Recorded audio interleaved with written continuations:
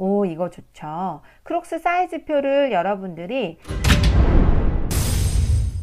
오늘은 네이버 블로그에 대해서 설명을 드릴 건데요. 제 주위 분들이 요즘 네이버 블로그를 시작하시는 분들이 많으세요. 저 같은 경우는 블로그를 아주 오래오래 했었거든요. 그런데 여러분들한테 제가 블로그 꿀팁을 좀 알려드려야 되겠다는 생각이 들어서 오늘은 또 네이버에서 녹화를 하고 있습니다. 자, 여러분 네이버를 시작하기 전에 한 가지 아셔야 될 게 있어요. 우리가 살아가는 공간은 내 몸이 움직이는 집, 그리고 가족들이랑 같이 살아가고 만나는 친구, 동네, 차를 타고 이동하는 물리적인 공간이 그 정도인데요. 우리는 실제로 내 몸이 움직이는 것보다 가상의 세계에서 많이 살고 있어요. 그 중에 가장 큰 게 요즘은 네이버, 그리고 유튜브예요. 그럼 우리가 생각을 한번 해 봅시다.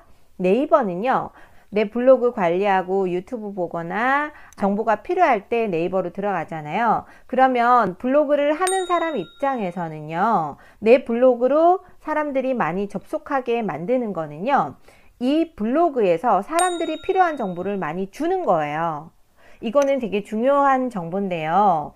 왜 그러냐면 우리는 네이버라는 이 가상의 문, 그러니까 컴퓨터 한 화면, 모바일 화면을 통해서 블로그라는 세계로 넘어가게 돼 있어요. 그 문을 열어야 돼요. 그 문을 여는 그걸 뭐라고 그러냐면 검색어로 들어가거든요. 검색어 예를 들어서 제가 지금 철분제에 대한 글을 올리려고 하는데요. 네이버에서 어떻게 하냐면 여기서 철분제라고 치겠죠. 철분제. 이렇게 철분제, 철분제 복용법 이런 게 있어요. 이런 게 사람들이 많이 검색하는 해시태그라 그러거든요. 검색어를 해시태그라 그래요. 제가 왜 이렇게 길게 설명을 드리냐면 여러분들이 블로그를 시작할 때는요. 이 검색어 해시태그가 뭔지에 대해서 정확히 아시는 게 좋아요.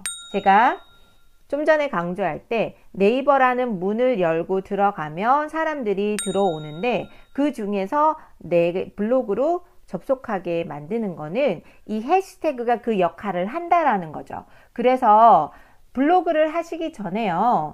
내가 어떤 블로그를 할 건지 먼저 결정을 하시는 게 좋고요. 두 번째는 내가 어떤 정보를 올릴 거냐 에 대해서 심각하게 생각을 해 보셔야 된다라는 거죠. 어, 내가 만약에 블로그를 일기장으로 쓰겠다 하면 상관이 없으시겠지만 블로그에 쿠팡 파트너스를 붙이겠다 아니면 네이버 광고를 붙이겠다. 그것도 아니면 내 유튜브를 홍보하겠다. 그러면 모두 제가 말씀드리는 걸 들으셔야 된다라는 거죠. 자, 다시 되돌아와서 저는 철분제에 대해서 올릴 생각입니다. 그러면 제가 철분제에서 글을 쓰려면 사람들이 철분제에 대해서 어떻게 알아보는지를 아셔야 된다라는 거죠. 그럼 철분제에 대해서 검색을 하면 철분제 복용법, 철분제 추천, 부작용, 자, 이런 건 다 왜 이렇게 올라올까요? 철분제라는 건 건강기능식품이기 때문에 내가 빈혈이 있다거나 철분이 부족하면 몸에 이상 반응이 생길 수 있기 때문에 철분제 복용법에 대해서 정확히 알고 싶다라는 분, 철분제를 추천받고 싶다라는 분, 부작용은 예를 들어서 철분제가 안 맞다거나 먹었는데 안 맞다거나 앞으로 혹시 부작용이 없나 라고 알아보시는 분 제가 말씀드리고자 하는 거는 철분제라고 검색을 하면 여러분들이 지금 시작하는 블로그로는 철분제 검색 이걸 눌렀을 경우에요. 자, 블로그는 여기 view로 들어가거든요. view로 들어가는데 요 밑으로 쭉 내려보면요. 여기 view 있죠. 이게 블로그예요. 근데 여기서 지금 제가 왜 이렇게 강조를 드리냐면 view로 들어가시면요. 페이지 수가 엄청 많아요. 밑으로 쭉 내려 볼게요. 쭉쭉쭉쭉 내리면요. 수없이 많아요. 왜냐하면 철분제는 사람들이 쇼핑몰에서 판매하는 제품이기 때문에 블로그에도 글을 많이 올려요. 그럼 내가 이렇게 글을 많이 올리는 사람들이랑 경쟁을 하기 위해서는 내 블로그는 조금 다르게 올려야 된다라는 거죠. 다른 사람들이 많이 안 올리거나 놓치는 부분을 찾아서 올리자라는 거죠. 자, 이제 다시 제가 다른 웹사이트로 가서 또 설명을 드릴게요. 자, 제가 좀 전까지는 검색어와 사람들이 내 블로그를 찾아오게끔 만드는 과정이 필요하다라고 말씀을 드렸어요. 이제 첫 번째 웹사이트에서 이 방법을 가르쳐 드릴 거예요.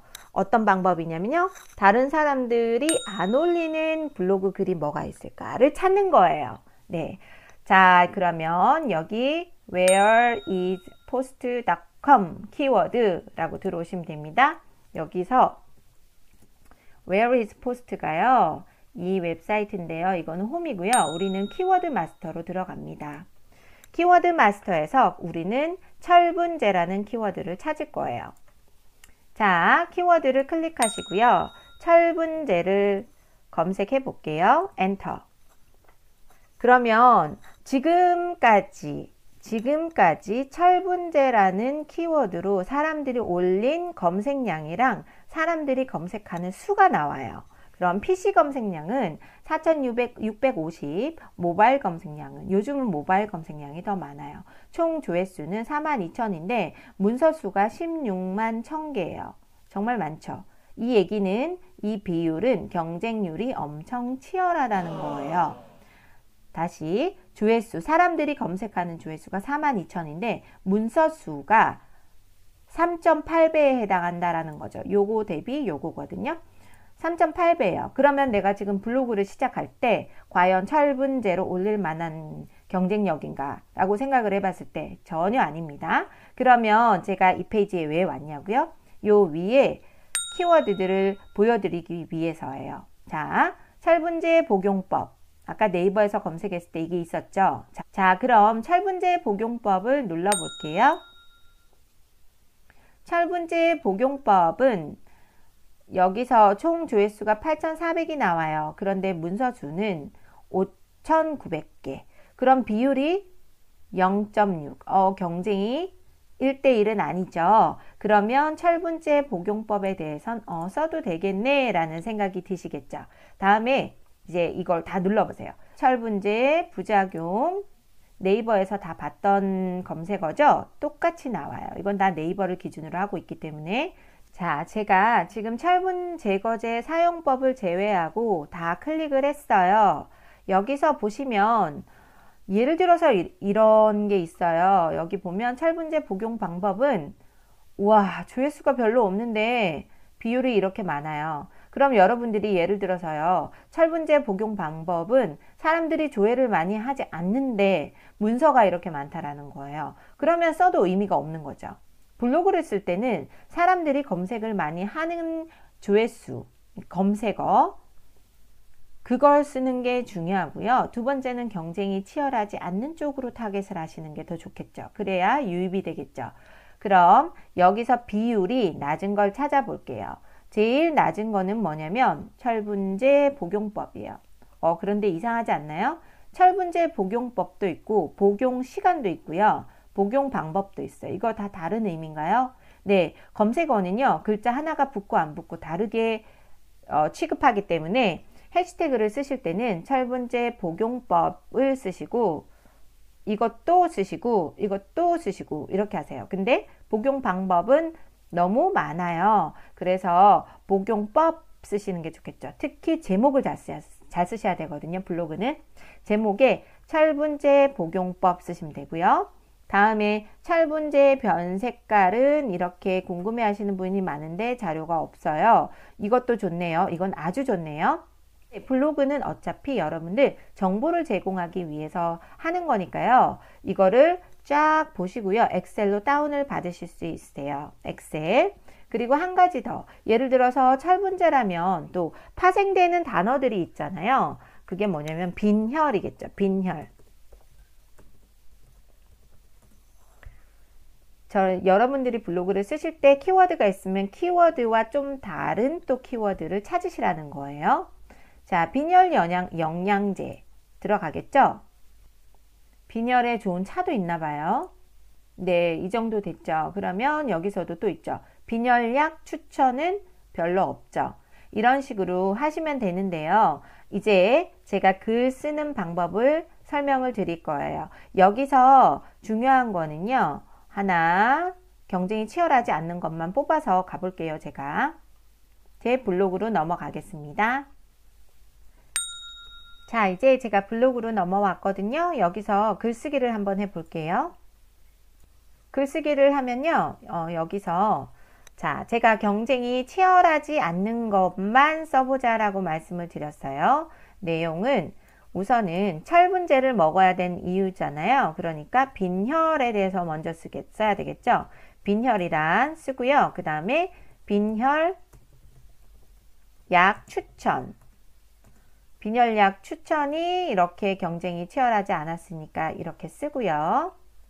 철분제 변 색깔, 철분제 복용법 이 정도겠네요. 철분제 변 색깔, 철분제 복용법 됐죠? 이게 그대로 키워드로도 가요. 우선은 복사해서 다시 밑에 키워드로 적어 놓고요. 빈혈 키워드가 뭔지 아시죠? 사람들이 검색하는 단어들이에요. 키워드는 띄워쓰기를 하지 않아요. 그리고 한 칸 띄우고 해시태그 띄어쓰기 없애고 한 칸 띄우고 해시태그 이렇게 어, 되게 까다롭죠 여러분 블로그 쓰는 것도 쉬운 일은 아니에요 근데 블로그를 이왕 쓰실 거면 이렇게 잘 쓰셔야 된다라는 거죠 자 그러면 제가 지금 철분제에 대한 걸 찾았습니다 이 정도로 하시면 되고요 빈혈이란 미리 찾아보셔야 돼요. 네이버에서 빈혈이란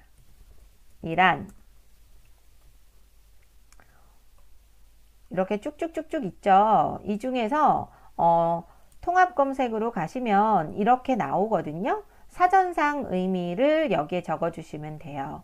여기 정리를 하시고요. 다음에 빈혈약을 추천하는 거는요. 빈혈약을 먹어야 되는 이유. 먹어야 하는 이유가 나와야 되겠죠? 그 다음에 빈혈약을 먹을 때 조심할 점. 다음에 마지막으로 음, 두 가지가 더 있네요. 변 색깔. 변 색깔은 철분제를 많이 먹었을 때 변 색깔이 바뀐다라는 거고요. 복용법은 여러분들 아시는 것처럼 뭐 식사 전이나 식사 후나 자기 전이나 기상 후 이런 식으로 복용법에 대해서 알려주시면 된다라는 거죠. 그러면 이 글을 쓰는 방법에 있어서 제가 잘 쓰는 방법도 가르쳐 드릴게요. 제가 우선은 여러분들한테 보여드리기 위해서 네 가지 단어를 잡아왔잖아요. 하나, 둘, 셋, 넷. 잡아왔으면 이게 제목이 돼야 돼요. 그래서 카테고리 제목이 돼야 되니까 이거를 자 컨트롤 X를 해서 잘라내기를 하고요. 인용으로 가시면요. 여기 화살표를 클릭하시면 이런 게 있어요. 이런 걸 붙여 넣으시면 제목처럼 보이겠죠. 그러면 이거를 글자 크기를 저는 24 정도로 하거든요. 24. 이 정도로 하고 색깔을 바꿔요. 그러면 눈에 좀 잘 띄고 진한 색으로. 이렇게 하면 제목처럼 보이죠. 그러면 여기 밑에 내용을 쭉 쓰고요. 다음에 빈혈약 추천도 똑같이 해요. 이걸 클릭하고 붙여넣기. 다시 24 진한색 보라색. 이런 식으로. 네. 이렇게 제목 글 제목 글 제목 글. 마지막에는 해시태그. 다음에 어, 다른 사람들은 이미지도 좀 있고 그렇던데 그건 어떻게 넣는지 궁금하시죠? 여기 제목 밑에요. 여기 클릭 딱 하시면요. 요 오른쪽에 글감을 눌러요. 글감. 그리고 사진이라는 게 있어요. 이거 다 무료 사진인데 여기서 빈혈이라고 쓰세요. 빈혈. 철분도 많이 없고 그럼 영양제라고 쓸게요. 영양제. 약이겠죠, 약. 자, 이런 거네요. 그냥 이걸로 할게요. 이렇게 예를 들면 이렇게 쓰시면 돼요. 이미지를 이미지는 두세 개 정도 넣으시면 좋고요. 복용법을 한번 찾아볼게요. 글감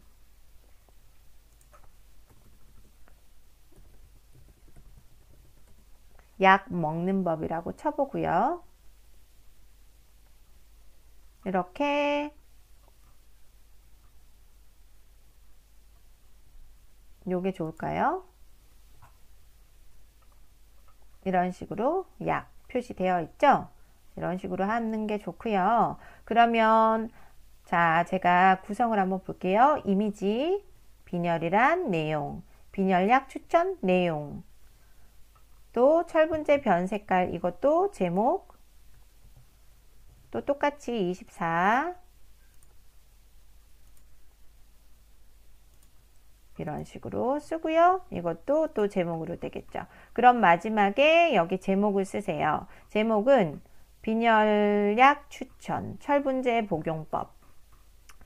빈혈약, 빈혈약, 철분제 복용법. 먹는 시간과 조심할 점, 그리고 부작용. 이렇게 쓰시면 되겠죠. 네, 블로그를 쓰실 때 제가 미리 말씀드릴 거는요. 여기 쉼표 같은 거 쓰지 마세요. 제목에는 쉼표나 이런 괄호 많이 쓰잖아요. 그러면 내 블로그가 다른 사람한테 오픈이 안 돼요. 이게 막혀지게 되거든요. 그래서 이거는 쓰시지 마시고요. 마지막에 이제 블로그를 이제 공개하게 됩니다. 발행을 누르시면 되거든요. 오른쪽 상단에 발행을 눌러 보시면요. 자, 여기서 카테고리 내 카테고리 블로그 카테고리가 있을 거 아니에요. 그러면 여기서 예를 들어서 글쓰기라고 했어요. 그리고 여기서 주제는 일상 생각일 수도 있지만 건강이 되겠죠. 건강의학 이쪽이 되고요. 확인. 그러면 이렇게 이렇게 됐고요. 맞 어, 여기서 검색 허용, 외부 공유 허용. 이거는 검색 허용 꼭 하셔야 네이버에서 검색이 돼요. 그리고 여기서 보이시죠? 이렇게 해시태그를 넣어 놨어요. 4개 넣어 놨는데 다시 추가적으로 더 넣어야 되겠죠. 여기서 아까 검색했던 우리 단어들 있죠. 이걸 더 쓰시면 돼요. 철분제 부작용, 철분제 추천. 철분제 부작용 띄어쓰기 없어야 돼요. 여기서 띄어쓰기 하면 이렇게 넘어가요. 철분제 추천. 이런 식으로 하신 다음에 발행을 누르시면 됩니다. 자, 이렇게 하시면 돼요. 그런데 그렇게 생각하시는 분도 많으실 거예요. 블로그 하나 글을 쓰는데 이렇게 많이 따져야 되냐라고 생각을 하실 수 있는데 여러분들이 블로그든 유튜브든 인스타든 하시는 이유가 내가 일기로 남기기 위해서 공개를 하는 건 아니잖아요. 다른 사람들이 알아봐주고 찾아와주고 내가 나중에 수익화시키고 쿠팡 파트너스라도 붙이고 그렇게 하려면 어떻게 해서든지 다른 사람들이 나한테 오도록 경로를 잘 터주는 게 중요해요. 그래서 예를 들어서 등산을 간다고 생각을 하면요. 우리가 남들이 가는 길로 가느냐 아니면은 숲이 막 무성한 그쪽에 없는 길을 만들어서 가느냐 그 차이예요. 없는 길을 만들어서 가면 내가 나뭇가지 하나하나 자르면서 가야 돼서 오래 걸리고 힘들고 지치거든요. 그래서 제가 블로그를 이왕 쓰실 거면 남들이 다 쓰는 검색어가 아닌 다른 검색어를 위주로 쓰시는 게 좋다라고 말씀을 드리는 거예요. 이왕 열심히 하셨으면 결과가 빨리 달성되는 게 좋잖아요. 이게 진짜 중요한 전략이니까 여러분들이 쓰시고자 하는 글들 오늘 한번 여기 키워드 마스터에서 검색을 해보세요. 그러면 여기서 키워드를 한번 또 보여드릴게요. 예를 들어서 음, 크록스다. 크록스 검색을 해보시면 크록스 중에서도 사람들이 크록스 이것만 쓰면 너무 많죠. 문서 수는 많지 않아도 문서 수 자체가 워낙 숫자가 많기 때문에 경쟁이 안 돼요. 그래서 여기서 보시면 크록스 사이즈표. 오, 이거 좋죠. 크록스 사이즈표를 여러분들이 블로그에 올리시면 다른 사람들이 크록스 하지만 크록스 사이즈표까지 보여주는 블로그로는 내게 클릭될 확률이 높다라는 거죠. 이런 식으로 어떤 곳에서든 해당 사항이 있어요. 이 키워드는. 그래서 이 사이트에 가서 키워드를 검색을 해보시고 아 나는 이 글을 조합을 어떻게 해야 되겠다라는 전략을 만드시면 블로그가 빨리 성공하실 거예요. 네. 그럼 제가 다음에 또 블로그에서 방문자를 많이 들어오게 하는 방법도 있어요. 오늘은 시간이 너무 길어질 것 같아서 못할 것 같고요. 다음에 또 좋은 전략을 말씀드릴게요. 쉬운 SNS 구독, 좋아요, 알림 설정까지 부탁드립니다. 감사합니다.